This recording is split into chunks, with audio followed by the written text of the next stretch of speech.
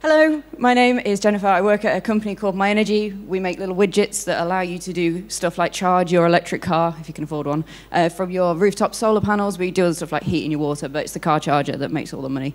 Um, so this is not a DevOps talk. I'd just like to start um, with that caveat in there. It did, but it did come up in a conversation in the pub after DevOps Days Birmingham, so it's kind of appropriate, where we were talking about the tendency of people to add blockchain as the solution to uh, every problem.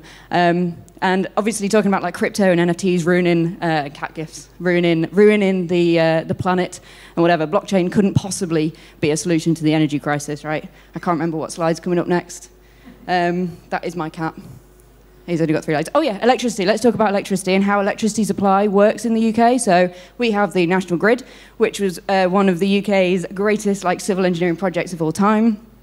Um, and it allowed, before we had the national grid, which connects power stations to consumers via pylons and stuff, um, electricity was generated and supplied by individual power stations with no like consistency with frequency or whatever. So my light bulbs wouldn't work in your house, and it was like prohibitively, even more than now, expensive for normal people to use electricity in their home.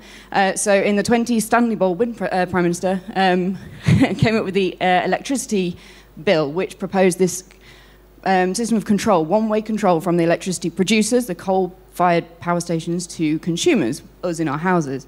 Um, and this has been like, they turned it on in the 30s, and it's basically been the same ever since, um, and it's worked fine up until about 10 or 15 years ago when there was a bit of a change.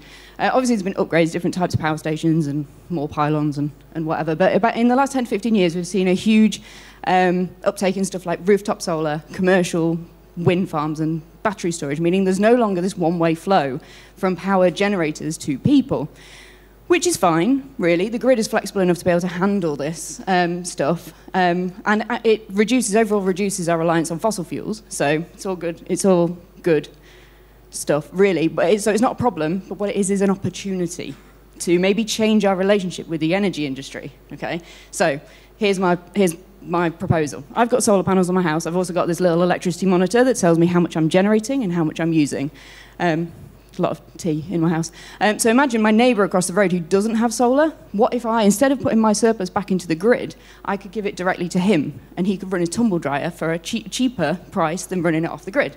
And my neighbour down the road has got a battery. I could use some of their electricity to run my dishwasher overnight. And we could create like this little peer-to-peer electricity sharing network down our, in our little bit of the road. We could create our own microgrid um, and remove our reliance on the national like infrastructure which is all great, but managing the transactions, the, the who's generated what and who's sold what is really difficult. And you know what would actually fit this brief is blockchain. Because realistically, in its simplest form, blockchain, all it is is a transaction log, right? It's fancy, it's decentralized, immutable, blah, blah, blah, but it's, it's accounting, right? So it could easily be used to track how much I've generated, how much I sold to you, how much I bought from you, and whatever.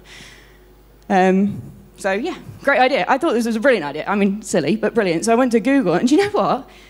It's not silly. People are actually doing this, right? In real life, this is happening now. There's a place in, in New York, in Brooklyn, uh, there's a project called the Brooklyn Microgrid, and it's exactly what I just described. Some people have solar panels on the roof of apartment buildings, and uh, they buy and sell energy credits um, using an app based on blockchain, um, and they can decide whether they want to buy their electricity from uh, the solar panels or if they want to buy it from the grid. And you know what? It works really, really well. It's been running since 2016, and the electricity bills are significantly lower. It's so much cheaper to buy from your neighbour with solar than it is to buy from the grid. It's unbelievable.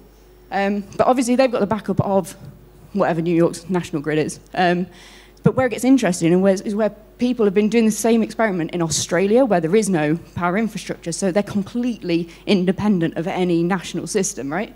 Um, which has an interesting, uh, so they have a lot of batteries, um, so, which has an interesting implication for other places that maybe don't have any infrastructure, like maybe different countries where they haven't, they haven't got the political ec or economic ability to build that kind of stuff.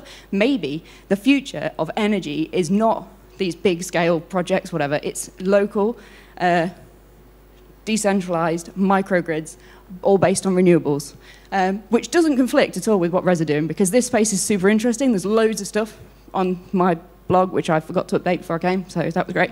Um, and I just, I know, I know I'm going over time, but literally on Wednesday, Octopus Energy had a conference about exactly this in the UK, and it's super exciting.